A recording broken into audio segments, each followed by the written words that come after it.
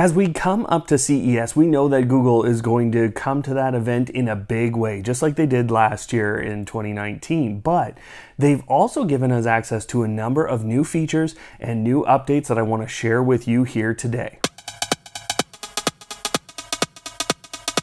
Hello automators, thanks for tuning in again. I'm Brian from Automate Your Life and today I'm going to take the frustration out of automation by keeping you up to date with everything that the Google Assistant has to offer. Now today I'm going to show you right away how to get the last conversation you had with the Google Assistant right out of its memory immediately. Delete my last conversation. I deleted your most recent assistant activity. You'll be able to see the change on your assistant activity page in just a moment. Now, of course, if you'd like to go deeper than that, you can actually delete the day's activity or the week's activity. So, delete my last day's activity.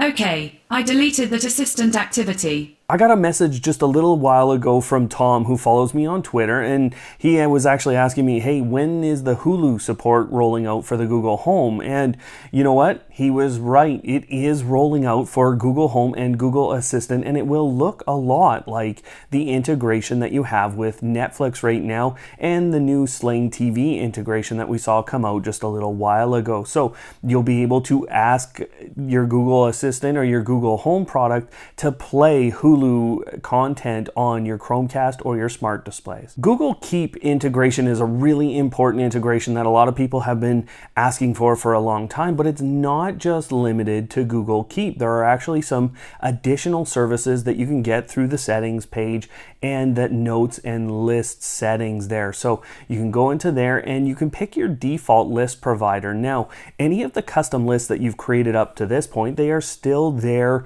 They're called Google Assistant lists. And you can go ahead and call those up very simply with a very simple command. Show me my lists. You have quite a few lists. There, test keep, my shopping list, automation ideas, things to buy, things to move, and many more. Now what you'll notice right away is that there are different icons now for the different list types and you will originally have those Google Assistant lists and that Google Assistant icon next to them. But next to that or with any of the new lists that you create, it will use that default service. So I've gone ahead and connected my Google Keep account and this has given me access to the lists, those lists and any new lists you create just by saying create a list called to your Google Assistant, that will go ahead and create a new Google Keep list. Once you've brought up the list, you can navigate by hand or you can continue to use your voice to navigate through the different lists, which I'll show you in a second. But as you navigate with your hand, you can tap to go into any of the lists and then you can go ahead and tap on any item within those lists to remove it, to, to complete that item within your list. Now, if you'd like to add something to a list, let's say you have a guest list for an event coming up, just like I do, you can go ahead and ask the Google Assistant to add someone to that list. So add Alan to my guest list. Sure, I added Alan. Now, unfortunately, you cannot remove with your voice either a list or a uh, individual item from any of the lists. You can't do that yet, but you can do that on a phone or a tablet. So you can actually ask your Android phone or tablet or an iOS phone or tablet with the Google Assistant application on it to bring up your lists and then you can go ahead and delete items that way as well. The Google Assistant was released to 15 additional countries and this is based on the Arabic language that they have continued to grow support for within the platform so you could see those different countries, but you will also find a new interpreter mode on Android phones. So I'm going to go ahead and ask for my phone to translate in Thai. Help me speak Thai. Okay, I'll be your interpreter. How are you? คุณเป็นอย่างไร so you can have a conversation literally on the fly now with your phone and you don't need any other application, especially if you have an Android phone already. If you watched any of our earlier Christmas videos, you would have seen the series of read-along storybooks that Disney has put together. The Frozen story series, I think is one of the most popular ones out there and it's the one I always demonstrate and there's a reason for that. Kids love this movie and the new Frozen 2 movie also has a new read-along story story for it there that you can go ahead and find actually through the Google Home app, which you will find now in that recap tab there.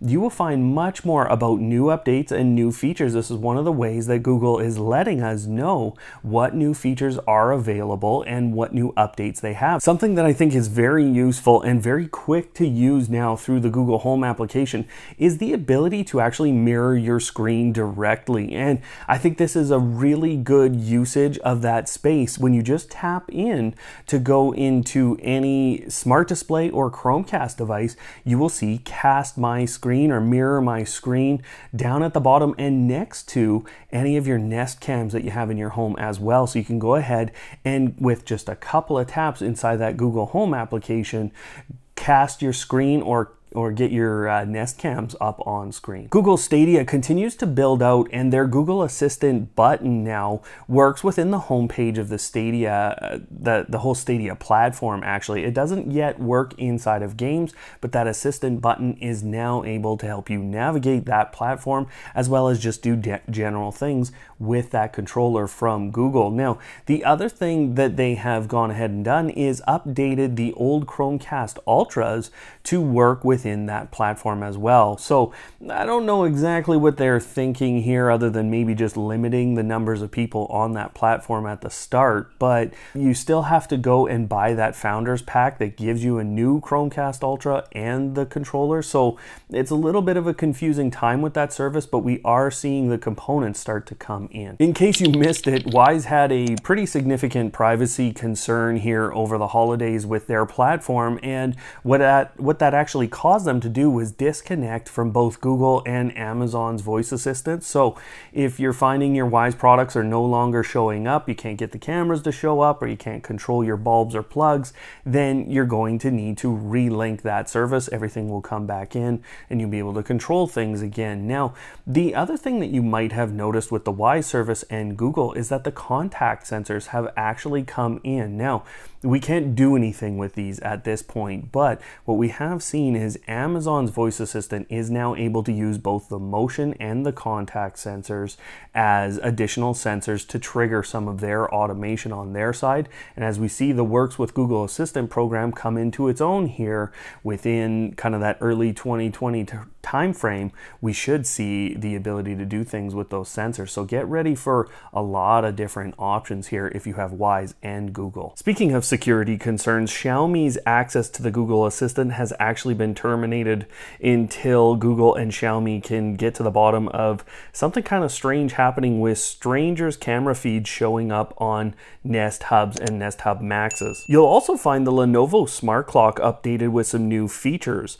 The impromptu alarm option is being rolled out to Lenovo smart displays that basically creates an alarm that is based on the time of the day or the weather or something to that effect. You'll also find improvements in automatic brightness, music recommendation cards, and the ability to extend an alarm up to 60 minutes. We know that Google will come to CES in a big way, and they've already confirmed that they're going to do a huge display again. I can't wait to get there. This is the first year I get to go, and I'm going to meet lots of the companies that we have talked about here on the channel, and I'm just there to really research and show you the best devices. So, what you're going to see is at the end of the week here, I'm going to show you the best gadgets and the best smart home devices, the best automation devices that I can from there. But we are also going to see new Klipsch and new LG soundbars that have Google Assistant integration in them.